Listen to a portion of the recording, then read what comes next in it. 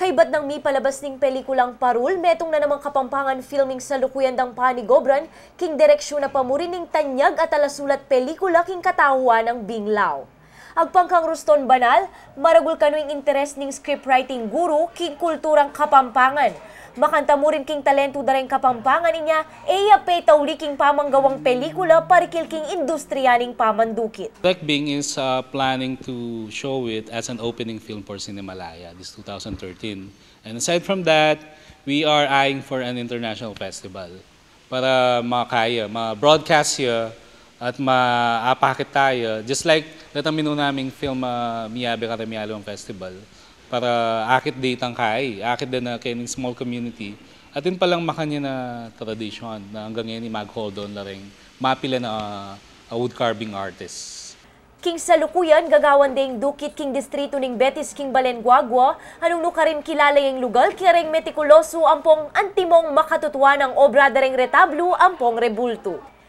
Ing kilalang king mabilog ga Asya at ibuan king may sabing lugal, king meging inspirasyon na kanong law, king pamamia direksyon king pelikula. Masanti nga naman kanu iting alimbawa king pamanalunton dareng kayanakan at tutuki pang enerasyon king sining ning pamandukit. Storya na ng pelikula inspired by by, by a certain uh, uh, wood carver na nung nakaroon ikit mi ing Vienna na magsilbi ang inspirasyon ka rin anak lalo na rin ba yung generation na bisang mabiyasang wood carving.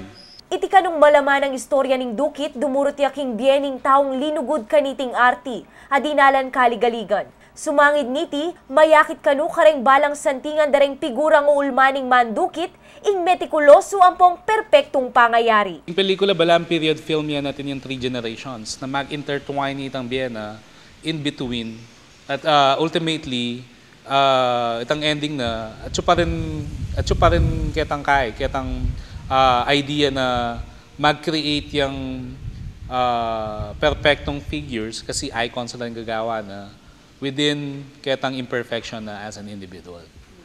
Kasi if you look at it, nung lalon me, ing storya na magbase siya kaya ng metong wood carver gagawang santo, gagawang religious icons.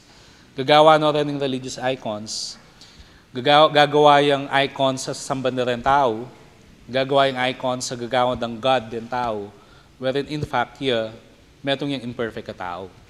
Makanintay tang, makanintay tang irony na nitang uh, pelikula nung no kan duduro titang uh, kaya. Very interesting part na ning, ning movie eh. Kami ni, uh, without even expecting uh, a payback when it comes to profit, we are just expecting um, the people who can watch it to to trace their ide- identity as a in our case as a kapampangan nung no ka rin uh, atin tamong ma mabye at uh, at uh, kulturang uh, hanggaman ngayon ng panahon na ini ating taong tatalanan ito para eh mawala eh mag-vanish.